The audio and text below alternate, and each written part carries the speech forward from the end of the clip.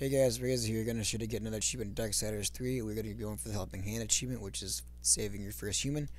Now, hopefully, this open area is well enough known for you to where this is pretty self-explanatory. It's basically an unmissable achievement. It's basically right in front of your path. But just in case, here will be the first one of many, and I will be putting together a guide of all of them for you guys later on to see. So once you drop down here right in front of this bus, it'll be right down here. So I'll catch you guys later, and thanks for watching.